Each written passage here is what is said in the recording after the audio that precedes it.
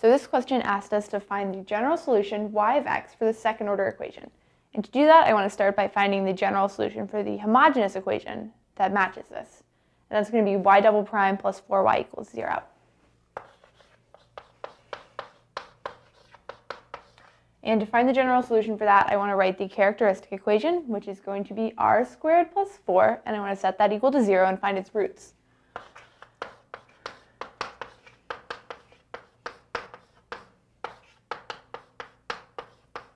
Those roots are going to be plus or minus 2i. So now I can write out yc. And that is going to be e to the real portion of this solution, which is 0, times x, times c1 cosine of the imaginary coefficient, so 2x,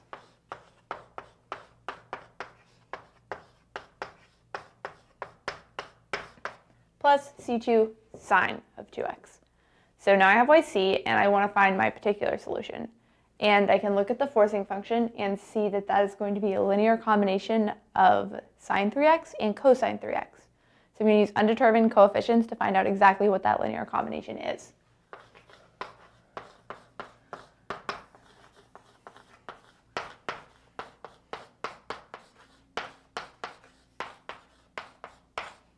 So I'm going to use a and b as coefficients, but those just represent any real number. Now I want to plug yp into the given system so that I can solve for specific values of a and b. And to do that, I want to find its second derivative so I can plug in. Let's start by finding the first derivative.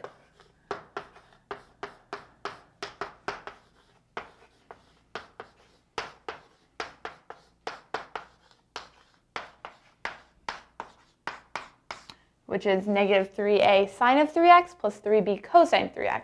Now let's find the second derivative.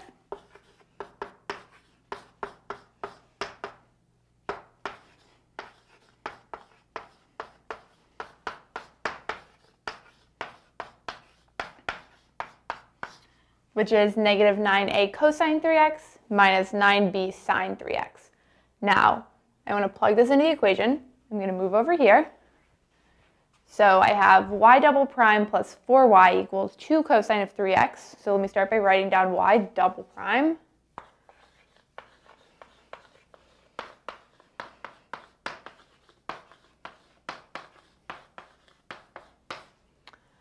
And I want to add 4y. I'm going to go and distribute that 4, so I'm going to have 4a cosine 3x plus 4b sine 3x.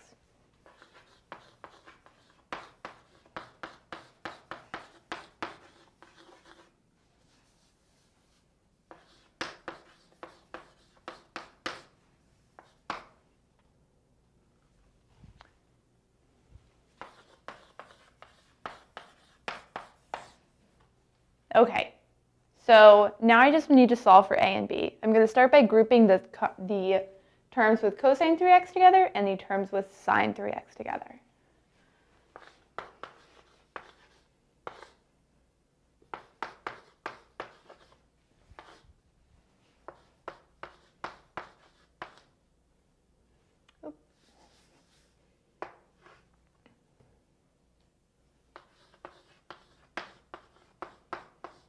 So for cosine, I have negative 9a plus 4a cosine of x. And then for sine,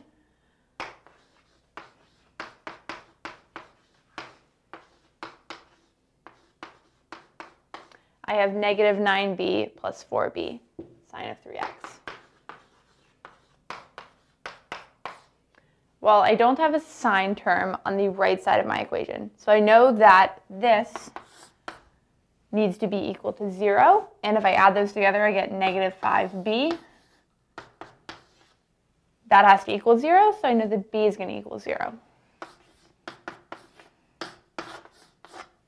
So that term drops out, and I have, this is negative 5a. Negative 5a cosine of 3x equals 2 cosine 3x.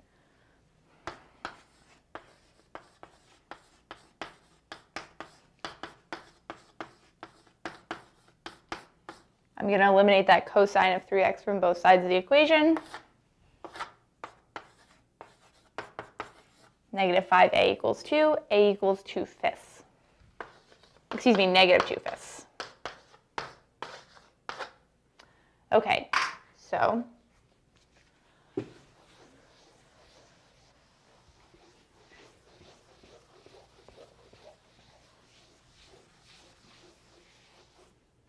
I know that the general solution y of x is going to be yc plus yp. I'm going to copy over yc.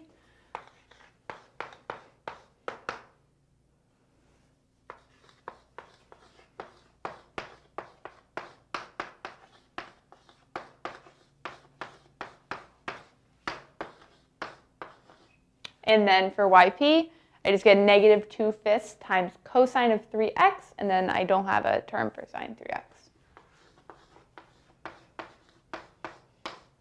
So this is my general solution y of x for some real coefficients c1 and c2.